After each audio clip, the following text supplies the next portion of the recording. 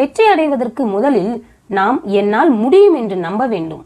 எதுவுமே செய்யாமல் வெற்றியடைய முயற்சிக்கும் மனிதர்களை விட ஏதாவது ஒன்றை செய்து தோல்வி அடையும் மனிதர்களே மிக சிறந்தவர்கள் ஆவர். தோல்வியே வெற்றிக்கான முதற்படி.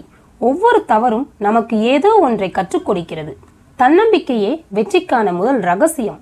ஆசையே எல்லா சாதனைகளுக்கும் தொடக்க புள்ளி. வெற்றி என்பது ஒன்பது முறை விழுந்து பத்தாவது முறை எழுவது. எந்த ஒரு மனிதனும் அவன் விரும்பாத ஒரு முயற்சியில் வெற்றியடைய முடியாது.